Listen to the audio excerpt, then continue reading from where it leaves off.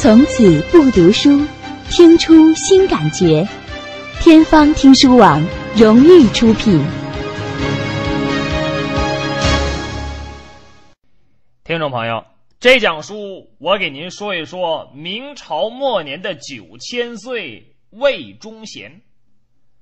说到这个魏忠贤呢，可能很多人会先想起刘宝瑞的一段相声，叫《连升三级》。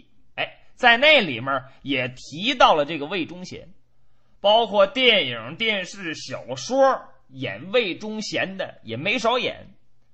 其实不用我多说，您也能知道，魏忠贤既不忠也不贤。这个人呢，原名叫李进忠，生于隆庆二年，也就是一五六八年，他是河间府肃宁人。魏忠贤天生一副无赖样有那种无赖的气质。啊，说无赖也有气质啊，无赖也有气质。你一看这人说话呀、办事啊，一举手一投足，就能看出这人呢有没有修养，有没有素质。啊，经过学习、受过高等教育的人，一说话、一办事儿，您就能看出来。那没受过这种教育的人，像剁尾巴猴一样，您也能看出来。魏忠贤打小有三不：不读书、不做事儿、不务正业。但是这个人呢，很聪明。你看，魏忠贤并不傻呀，极其的机灵，善于阿谀奉承、溜须拍马。长大之后，贪酒好色，最喜欢的就是赌博，喜欢人前显贵、傲里夺尊，好争阳斗胜。尤其这赌博场上，年轻时候的魏忠贤没少了去。有一次跟人家赌博，赌红眼了，最后孤注一掷，把本都压那儿了。结果这把又赌输了，呵，获胜的这高兴啊，嘲笑这个魏忠贤，当时叫李进忠。嘿，我说就你啊，还来赌钱呢？拉倒吧，你有多少输多少啊！你这人慢说赌钱，干什么也不行，干脆呀听我的话，回家撒泡尿浸死得了。你说你活在这个世上啊，哎呀，都给你爹妈丢人呐！别人瞅着你都好笑。算了算了，打这儿起以后，你别说认识我，我丢不起这人。大伙儿一听，哄堂大笑。魏忠贤这个人很好面子。茅房拉屎，脸朝外的主，受到这样百般凌辱，一气之下，魏忠贤真狠，自行阉割，干嘛要当太监？决定走宦官太监这条光明大道，干嘛图自己以后飞黄腾达，把老婆也给改嫁别人了。就这样，在万历十七年，也就是一五八九年，被选入宫。这个魏忠贤可不甘心做一名小太监，进宫之后拿耳朵这么一扫听，加上自己的这么一分析一判断，你看到什么时候魏忠贤都好赌，现在也是赌，赌谁呢？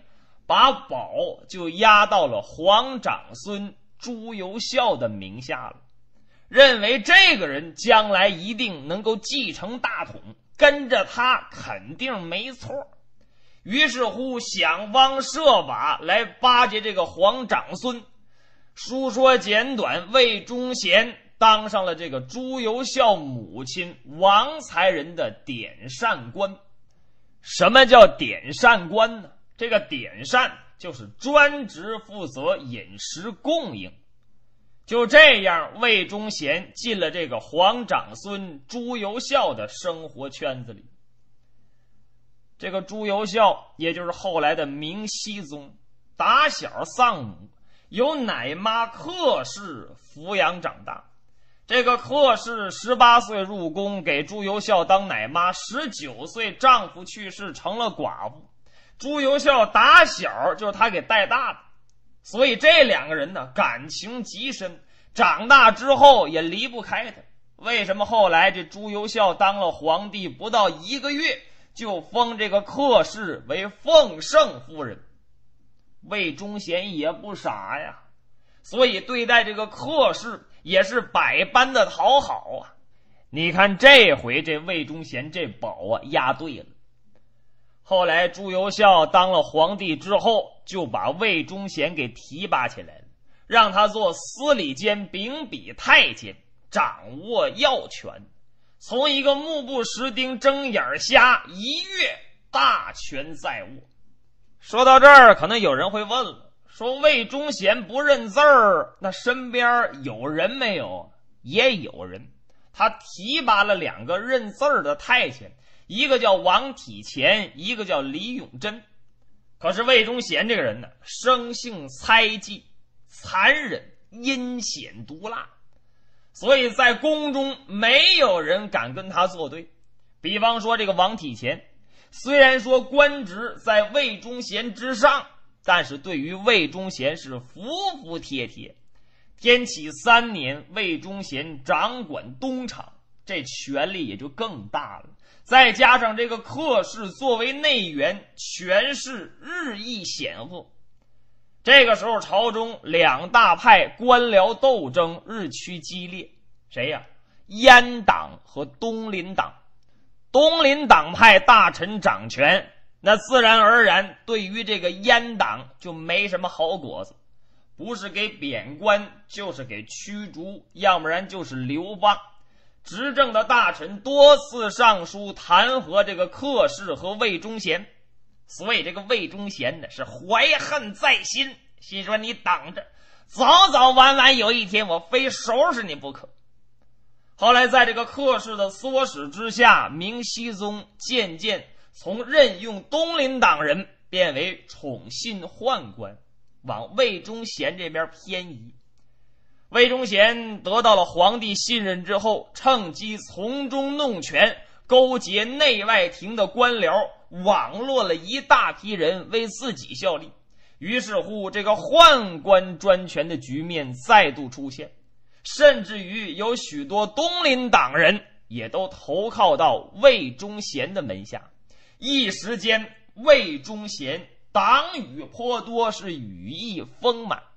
而且这时候，阉党的顾炳连升为首辅大臣，掌握了内阁。魏忠贤又和锦衣卫的都督田尔庚勾结，利用东厂和锦衣卫控制百官。一时间，朝野上下是人心惶惶，而且在这宫廷里面，还有像王体乾、李朝清等三十多人保驾护航。你说这魏忠贤有多少人吧？在文臣方面，有崔成秀、田吉为之出谋划策，称之为五虎。武将方面有田尔庚、徐显纯等人负责捕杀、镇压异党，号称五彪。除了五虎、五彪之外，还有十狗、十孩四十孙，大小的爪牙数不胜数啊！从朝廷内阁一直到地方大员、巡抚、知县，很多都是魏忠贤的人。那说这明熹宗没事都干什么呀？魏忠贤做了这么大的事儿，难道说他就看不见，他就不管吗？您打开历史看看，明熹宗有个爱好，爱好什么？爱好干木匠活哎，奔凿斧锯、刷刷油了，喜欢这个。每天早晚呢，就摆弄这些东西。据说这个明熹宗曾经在这庭院当中修建了一座小宫廷。仿造乾清宫，高了一下不过三四尺，哎，做的是十分的逼真，巧夺天工，可以说是天才的木匠。哎，做木匠他够一板的，当皇帝哎，这差点儿。只要看见这木匠活乐此不疲。魏忠贤掌握了这条，所以就在这熹宗做木匠活的时候。拿来这些奏章文本，叫熹宗来批复。熹宗就很讨厌。哎，行了，你不必拿来了，朕已经知道了，你就看着办吧。打这儿起，逐渐的大权旁落。而且这个魏忠贤没事啊，经常出去耀武扬威，每次出行，这个仪仗队气势豪华，不亚如皇帝出巡，神气十足啊！魏忠贤在车上一坐，锦衣玉带，脚蹬长靴，旁边好多武士搁那儿保护着。这要出行，有数万人，声势浩大。所到之处，很多的官员无不跪地相迎，高呼“九千岁”。九千岁，差一点就是万岁了。这魏忠贤在车上是看也不看，理也不理呀。而且朝中的事情，事无巨细，都得到魏忠贤这儿来批复请示。魏忠贤要不同意，这事儿你就办不了。所以一时间，朝野上下只知道有魏忠贤，根本不知道有那个木匠皇帝。俗话说：“一人得道是鸡犬升天。”魏忠贤这一掌权得势，他身边这些亲戚一个个也是平步青云。比方说，魏良栋、魏鹏毅，本族的人。这两个人呢，还是吃奶的孩子，给封为太子太保少师。再比如魏忠贤的亲戚魏良卿，甚至于代替天子在南北郊的祖庙里祭祀天地。难怪天下人都怀疑，说这个魏忠贤呢要篡夺帝位。就这样，魏忠贤是胡作非为，激起民愤，许多正直的官员义愤填膺。天启四年，副都御史杨涟上书痛斥魏忠贤，给列了二十四条大罪。这份奏折到了司礼监之后，魏忠贤就听说了，哦，这是写我的，这我得看看。他不认字儿。把崔成秀还有田尔庚都给找来，说：“来给我念念，我听听他怎么写的。”崔成秀把这奏折给打开，哈，杨涟写的是有理有据，隶属魏忠贤祸国殃民、专权不法的种种事实，什么时候在哪儿办了什么样的事，人证是谁，物证怎么怎么怎么回事一条一条往下念。念的这俩人都大汗淋漓。魏忠贤起初坐那儿听着，脸上笑么呵的，根本没当回事后来听到最后，魏忠贤站起来了：“哎呀，杨莲呐，我真得把你千刀万剐了不可呀！”再听到最后，汗流浃背，这叫贼人胆虚。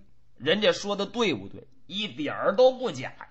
把魏忠贤给气的，我就知道啊，这朝中啊有帮人专门和我过不去，要不杀这帮人，我难以威震朝纲啊。可是说是杀，你得找理由啊。万全之下，找到这小皇帝，在这小皇帝面前哭诉，那客氏在旁边给帮腔溜缝。其他的大臣也都跟着说，一起陷害杨连。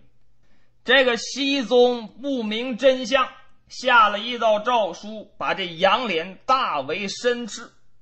结果这件事儿引起了诸大臣的公愤，很多人联名上书弹劾魏忠贤的不法行为。魏忠贤是气急败坏，找了个理由说这些人结党营私，把持朝纲。或杀的杀，或贬的贬，一时间这朝野上下来了一次大洗牌。把这些人都撵走之后，魏忠贤把自己的亲信安插到各个重要部门，为此还不解气呀，派出这锦衣卫东厂西厂的特务到处搜捕这些异党。比方说，有个叫吴怀贤的这个官员。在家里就把杨涟的这份奏折给读了读，然后大发感慨，叹了口气。结果这事儿被锦衣卫知道了，抄家灭门。河南信阳有个渡河的人，看见同船有个北京人，就和他谈起，说这个魏太监欺压朝臣，不知道最近怎么样。没想到那个人是勃然大怒啊！你好大的胆子！魏尚公是天生的圣人呢，你敢议政，这还了得！把这主给吓得跪地求饶。江西南昌有个生员在书市之上看到一本书，这本书啊是教一些人怎么向这些太监讨好献媚。结果这个人呢也是感慨了一句，被人家揪住送到衙门里治罪呀。总而言之，很多的人都受到了牵连，有时候往往是一句话。结果说者无心，是听者有意，触怒了魏忠贤，被杀被宰，或者说剥皮割舌的大有人在。就这样，魏忠贤高压手段建立起他的独裁统治，使得天下百姓还有许多的官员是敢怒而不敢言。一时间，坏人当道，魏忠贤一手遮天，很多人赶紧是溜须捧圣啊，认为魏忠贤那是贤才良相啊，应该给魏忠贤建立祠堂，甚至于把这祠堂都盖到了朱元璋的皇陵的边上。你看，搞个人崇拜，魏忠贤高兴啊，皇帝都没这待遇，他有这待遇。全国的臣民百姓对他是顶礼膜拜呀，很多当官的为了巴结魏忠贤升官发财，所以啊尽其所好，喜欢什么给说什么，大造舆论一时间，大明王朝乱成一锅粥了。就在魏忠贤得意之际，好事不长。这个美梦做到头了，怎么说做到头了呢？魏忠贤的靠山没了，明熹宗做了七年皇帝，死了，活了二十三岁，他的弟弟信王朱由检继位，这也是明朝的末代皇帝崇祯帝。这个崇祯早就痛恨魏忠贤，所以继位不久。马上搜罗魏忠贤的这些罪状，在这个时候，嘉兴有个贡生上书列举了魏忠贤十大罪状，什么一并帝、二灭后、三弄兵、四无二祖列宗等等等等，列了十大条。于是乎，这个崇祯帝下令要清查阉党逆案。这一查，一连带的人有好几百之多。十一月，魏忠贤遭到弹劾，被流放到了凤阳。走到半道上，魏忠贤身边还有一群亡命徒呢。崇祯帝一听是勃然大怒啊，命锦衣卫前去逮捕，押回京城审判。李永贞就得到这消息了。连忙派人密报魏忠贤，魏忠贤也知道这回自己难逃一死，在阜城南关尤氏旅店和他那同伙李朝清两人一直喝酒，喝到后半夜，最后上吊自尽。尸体被挖出来之后，任人家千刀万剐呀。李自成进北京的前夕。崇祯帝想起魏忠贤功劳政绩，在太监曹化淳的建议之下，把魏忠贤的这个遗骨收到了香山碧云寺。当然，后来在康熙四十年被捣毁了。这就是魏忠贤的一生。时至今天，大明王朝是岌岌可危。在这种情况之下，爆发了闯王的起义。咱们下文再说。